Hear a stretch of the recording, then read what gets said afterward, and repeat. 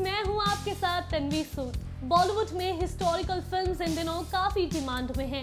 ऐसी फ़िल्मों को ऑडियंस काफ़ी पसंद करती है। लेकिन हिस्टोरिकल फिल्म्स के चलते फ़िल्म मेकर्स को काफ़ी विवादों का सामना भी करना पड़ता है, जिसका सबसे बड़ा सबूत है पद्मावत और बाजीराव मस्तानी।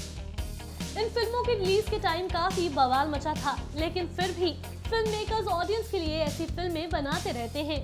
एक बार फिर ऐसा ही होने जा रहा है। खबरों की माने तो यशराज फिल्म्स के मालिक आदित्य चोपड़ा पृथ्वीराज चौहान की कहानी को पर्दे पर दिखाने की तैयारी कर रहे हैं।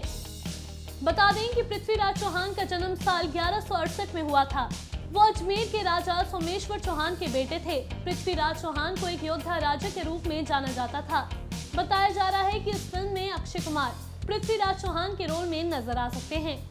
ये एक मेगा बजट वाली फ़िल्म होगी, जिसे यशराज फ़िल्म और चाणक्य और पिंचर जैसे टीवी शो और फ़िल्में बना चुके डॉक्टर चंद्र प्रकाश त्रिवेदी साथ मिलकर बनाने वाले हैं।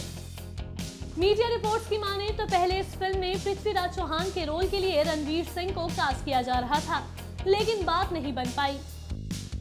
जिसके बाद मेकर्स ने अक्षय को इस फ़िल्म के लिए साइन किया है। बता दें कि जल्द ही कंगना रनौत की फ़िल्म मणिकर्णिका रिलीज़ होने वाली है। ये फ़िल्म रानी लक्ष्मीबाई की ज़िंदगी पर बेस्ड है। फ़िलहाल इस फ़िल्म की शूटिंग चल रही है। वहीं अब अक्षय भी पृथ्वीराज चौहान बनकर आने वाले हैं।